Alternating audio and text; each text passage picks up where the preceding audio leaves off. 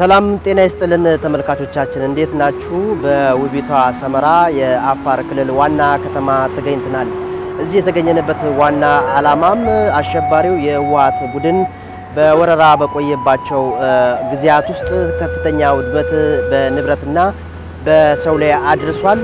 ከዚህም መካከል ዋናው ኢላማ አድርጎ ሲያጠቃ የነበረው ማለትም በዚህ ክልል ብቻ የጤና ተቋማትን ቁሳቁሶች እንዲሁም ንብረቶች ማውደሙ የሚታወቅ ነው። እንግዲህ ውድመት ከደረሰባቸው በርካታ አካባቢዎች አዲስ ሚዲያ ኔትወርክ እዚህ አፋር በመገኘት በጭፍራ ጤና ጣቢያ እንዲሁም ውሃማ እንዲሁም ካዛ ኪታ ተገኝቶ ቅኝት ያደርጋል። መልሶ ማቋቋሙ ስራ ምን ያህል ደርሷል፣ ዜጎች በምን ያህል ደረጃ የጤና ነክ አገልግሎት እያገኙ ነው የሚለውን ቅኝት እናደርጋለን።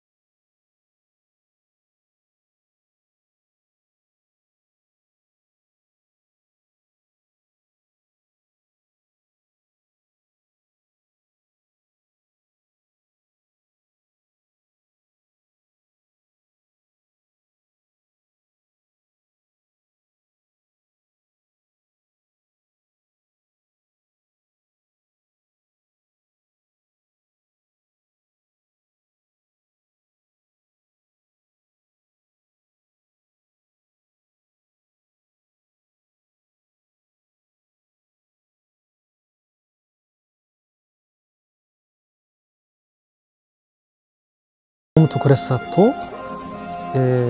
በዚህ በጤና ጣቢያ ደረጃ ሁለት GP አለን። አንድ emergency surgeon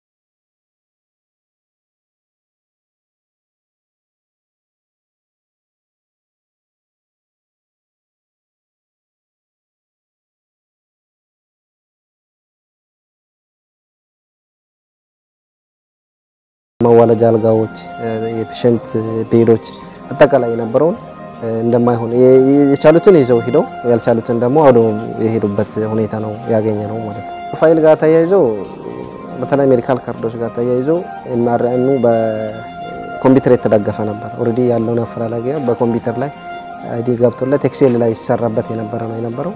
እሱንም አውድሞት ሂዷል። የነበሩ ካርዶች በተለይ chronic case ኦች የ ART TB የመሳሰሉ ትልቅ አሁን ዋጋ እያስከፈሉ ነው ያሉና ልናገኛቸው ያልቻልናቸው ካርዶችን አጥፍተውብን ሄደዋል። ሌላው ማፈላለጊያ እንዳያችሁትን አጥፍተው መሬት ላይ አዝረክርከው ሄደዋል። የተቻሉትን አቃጥለው ሄደዋል። የቻሉትን ደግሞ ይዘውበት ከዚህም ከተቋሙ ውጭ የወጡበት ሁኔታዎች ናቸው ያሉት የደረሰው ውድመት እውነት ለመናገር ከምንናገረው በላይ ትልቅ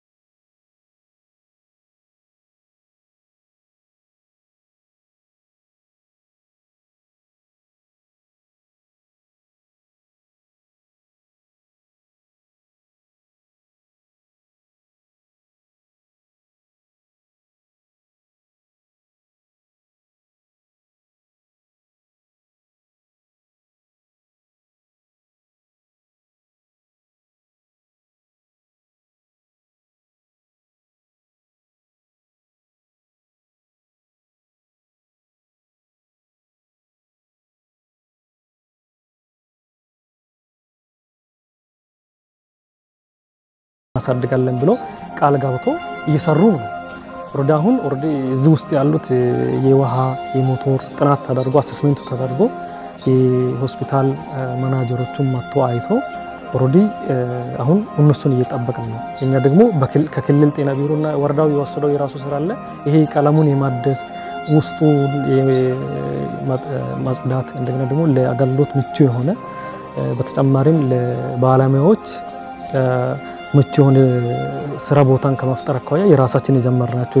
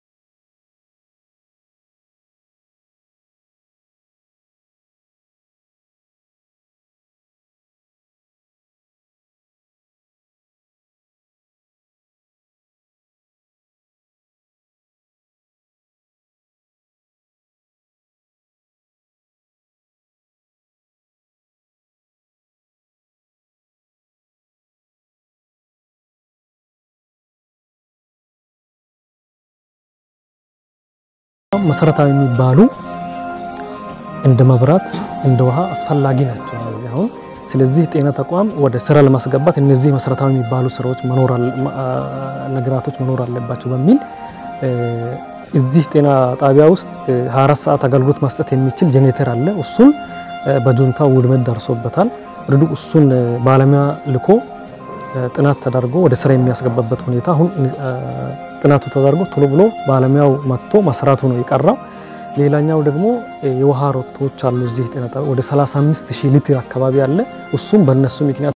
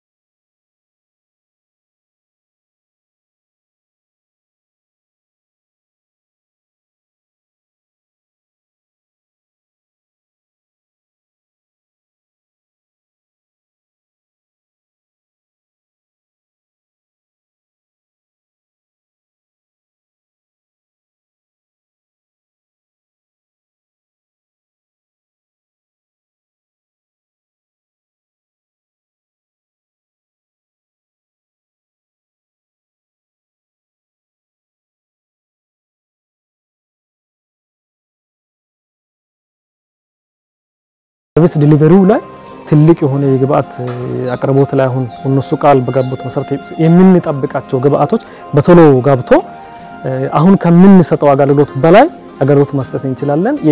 ህዝቡንም ከዚህ በላይ ማስደሰት እንችላለን ማለት ከዛ በተረፈ ግን facility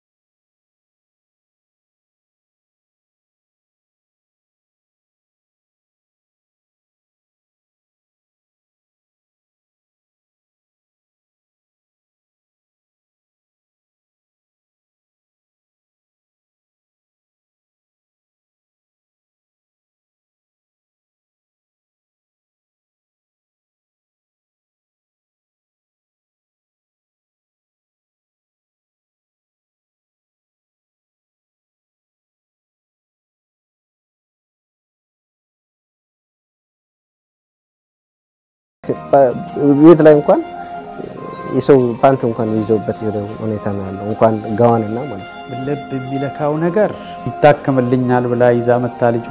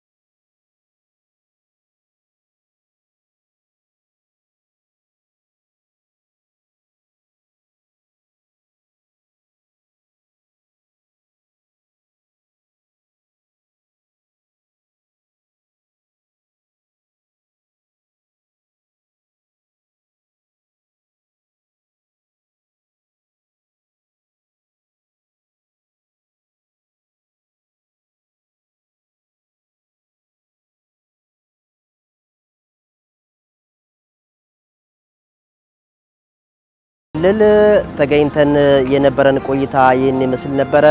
ሶስት ያክል ጤና ጣቢያዎች በአሸባሪው የህወሓት ቡድን የወደሙትን ለማየት ችለናል። መንግስት ከተለያዩ አካላት ጋር ማለትም የፌዴራል መንግስት፣ የአዲስ አበባ ከተማ አስተዳደር እንዲሁም የክልል መንግስታት በጋራ በመሆን የወደሙ ጤና ጣቢያዎችን በከፊልም ቢሆን ለመጠገን የሰራውን ስራ ለማየት ችለናል። ከዛም ባለፈ አሸባሪ ህወሓት ቡድን በወረራ ይዞ በነበረበት ወቅት ማህበረሰቡ ምን ያህል ሲቸገር እንደከረመም የሚያሳዩት ጉዳዮችን ስንቃኝ ቆይተናል።